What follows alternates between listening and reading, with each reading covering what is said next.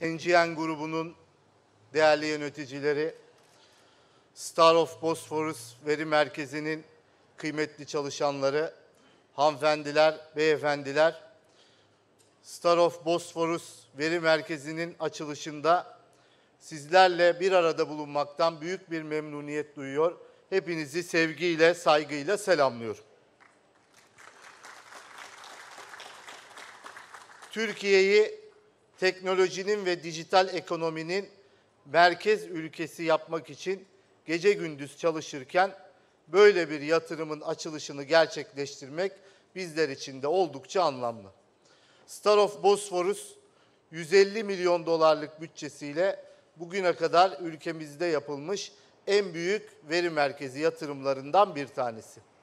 Burada kamu ve özel sektör müşterilerine üst düzey veri depolama, yönetilen hizmetler ve güvenlik hizmetleri sağlanacak.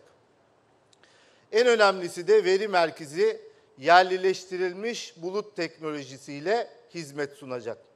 Bu yatırımın ülkemize kazandırılmasında emeği geçen herkese tebriklerimi ve şükranlarımı sunuyorum. Değerli misafirler, teknolojinin baş döndüren gelişimi ticaretten sağlığa, enerjiden tarıma, finanstan iletişime kadar her alanda yeni kuralların ortaya çıkmasına sebep oluyor.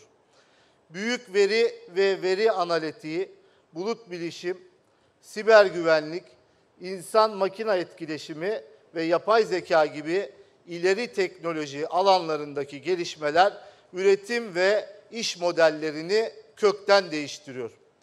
Bu değişimin temelinde de bilişim sektörü ve dijitalleşme yer alıyor.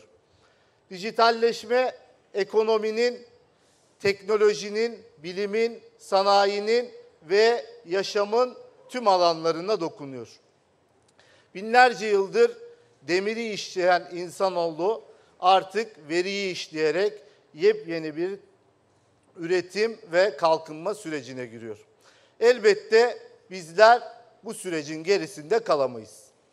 Bu süreci tüm koşullarıyla birlikte kavramak, en önemlisi de bu alanda oyun kurucularından biri olmak mecburiyetindeyiz. Bu yüzden milli teknoloji hamlesi vizyonuyla yola çıktık. Her konuşmamızda dijital dönüşüm diyoruz. Dijital kalkınma ve ekonomiden bahsediyoruz. Kobilerimizi, girişimcilerimizi, gençlerimizi dijital çağın üreten aktörleri olmaları, için teşvik ediyor, yol gösteriyor, politikalar belirliyoruz. Bu noktada bakanlık olarak teknoloji alanında verdiğimiz desteklerden bazı örnekler sunmak istiyorum. TÜBİTAK eliyle dijitalleşme alanında ARGE ve yenilik projelerine son 7 yılda 1.7 milyar liranın üzerinde destek sağladık. Bu desteklerden depolama ve veri analitiği projeleri %10'luk bir pay aldılar. Diğer yandan COBİ'lerin dijital dönüşümlerine yol göstermek ve bu süreçteki ihtiyaçlarını karşılamak için COSGAP aracılığı, aracılığıyla da çeşitli katkılar sağlıyoruz. Dijitalleşme odaklı ilk COSGAP destek programı olan COBİGEL'i bu yıl uygulamaya koymuştuk. İmalat sanayinde dijitalleşme teması ile başlattığımız bu programla hem teknoloji geliştiricisi COBİ'lere hem de teknoloji kullanıcısı imalatçı COBİ'lerin büyümesine inşallah katkı sağlayacağız. Bu kapsamda büyük verinin analitik yöntemlerle işlenmesi, nesnelerin interneti, otonom robot teknolojileri, akıllı sensörler, yapay zekaya dayalı akıllı fabrika sistemleri ve siber güvenlik alanlarında 1742 proje başvurusunu aldık. Şu anda değerlendirmelerimizi titizlikle sürdürüyoruz. İnşallah Ağustos ayı içerisinde COBİGEL sonuçlarını da kamuoyuyla paylaşmış olacağız. Değerli misafirler, şunu her yerde ifade ediyoruz.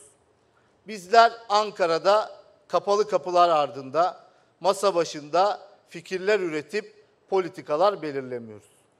sektörlerin gidişatını, taleplerini bizzat sahada görüyor. İş adamlarımızla, girişimcilerimizle e, ve emekçilerimizle yol arkadaşlığı yapıyoruz. İşte bunun en güzel örneği bugün açılışını yaptığımız veri merkezidir. Sağladığımız desteklerin böyle vizyoner işlere kapı araladığını görmek bizler açısından da gayet memnuniyet verici.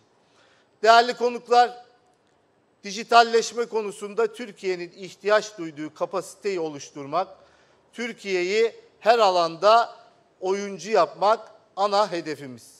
Bakanlık olarak böylesine önemli bir konuda politikalar belirlerken elbette özel sektör temsilcilerini ve sivil toplum kuruluşlarını da süreçlerin içerisine dahil ediyoruz.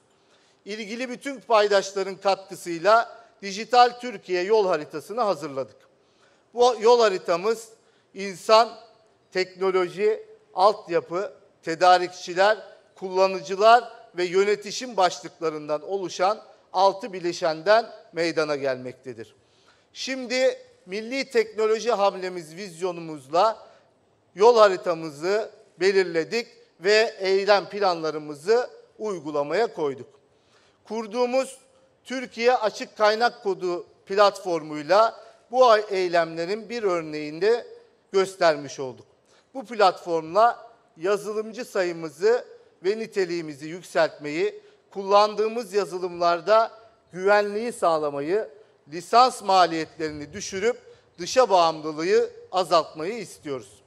Yine önemli bir adım olarak TÜBİTAK'ın koordinasyonunda binin üzerinde özel sektör kuruluşunun katkılarıyla akıllı üretim sistemleri teknoloji yol haritasını da belirledik. Bu kapsamda önümüzdeki dönemde TÜBİTAK üzerinden bulut bilişim, büyük veri analitiği, siber güvenlik, yazılım teknolojileri ve yapay zeka alanlarında hedef odaklı çağrılar açacağız ve buraya araştırmacılarımızın başvurmasını sağlayacağız. Tabii sanayinin dijital dönüşümü için attığımız diğer bir somut adım ise kurduğumuz yetkinlik ve dijital dönüşüm merkezleri yani model fabrikalarımız. Burada yalın üretim ve dijital dönüşüm tekniklerini firmalarımız uygulayarak öğreniyorlar. Daha sonra burada geliştirdikleri kabiliyetleri ve aldıkları mentörlükle de işletmelerinin ihtiyaç duydukları dijital dönüşümü hayata geçirebiliyorlar. Değerli misafirler, bu noktada yapay zeka teknolojilerine özel önem verdiğimizi de ifade etmek istiyorum. 2030 yılına kadar yapay zekanın global ekonomiye 15.7 trilyon dolar katkıda bulunacağı ve ülke ekonomilerini %26 oranında büyüteceği bekleniyor. Ali Taha Koç Bey bahsetti. Biz de Dijital Ekonomi Bakanları zirvesi için kendisiyle beraber Japonya'daydık. Ve sadece 4 yıl önce G20 gündemine alınan dijital ekonomilerin ve dijital teknolojilerinin öneminin bu sene G20 Liderler Zirvesi'nde bildirinin ilk paragrafında yer alması aslında teknolojinin ne kadar hızlı ilerlediğini ve ülkelerin buna ne kadar önem verdiğini göstermesi açısından anlamlı. Gelişmiş ülkeler bu muazzam pazarda paylarını arttırmak, bu alanda çalışmak için üniversitelerle, araştırma merkezleriyle, teknoloji lideri şirketlerle ve çeşitli girişimlerle yapay zeka teknoloji konu, teknolojileri konusunda çok önemli adımlar atıyorlar. Biz de bunun farkında olarak çok ciddi çalışmalar yapıyor. Kamu ve özel sektörün ihtiyacına yönelik projeler geliştiriyoruz. Yine TÜBİTAK vasıtasıyla yapay zekanın tüm alt alanlarında teknoloji geliştirme ve uygulama faaliyetlerini bakanlık olarak sürdürüyoruz. Büyük veri analizi, doğal dil işleme, görüntü işleme, otonom araçlar, ses tanıma ve çeviri gibi alanlarda çok çeşitli projeler yürütüyoruz. TÜBİTAK, Bilgen bünyesinde bulunan Bulut Bilişim ve Büyük Veri Laboratuvarı, yapay zeka konusunda ihtiyaç duyulan çözümlerin milli ve özgün olarak geliştirilmesi için çeşitli çalışmalar gerçekleştiriyor. Bunun yanında yapay zeka teknolojilerinin çekirdeğini oluşturan makine ve makine öğrenmesi ve derin öğrenme gibi tekniklerin özgün olarak geliştirilip servis edilmesi için de bir platformun geliştirilmesi için çalışmalarımızı sürdürüyoruz. Değerli misafirler, Türkiye'nin yeni büyüme ve kalkınma hikayesini her alanda dijital dönüşümü hayata geçirmemize öncülük edecek milli teknoloji hamlesiyle inşallah yazacağız. Bu yolda nitelikli insan kaynağımıza, girişimcilerimize, firmalarımıza güveniyoruz. Şundan kimsenin şüphesinin olmaması lazım. Önümüzde geçecek 4 yıl seçimsiz süreçte kamu ve özel sektörün güçlü birlikteliğinden çıkacak sinerjiyle ekonomimizi sağlamlaştıracak, milletimizin refahını daha da yükselteceğiz. Yeter ki hedeflerimize odaklanalım. Ben Türkiye'nin dijitalleşme yolundaki hedeflerinin Star of Bosphorus veri merkezinde somutlaştığını görmekten büyük bir memnuniyet duyduğumu tekrar ifade etmek istiyorum. Bu önemli merkezin dijital kalkınma hedeflerimize güç ve ilham vereceğine yürekten inanıyorum. Veri merkezinde emeği ve katkısı olan herkese bir kez daha teşekkürlerimi sunuyor. Hepinizi sevgi ve saygıyla selamlıyorum.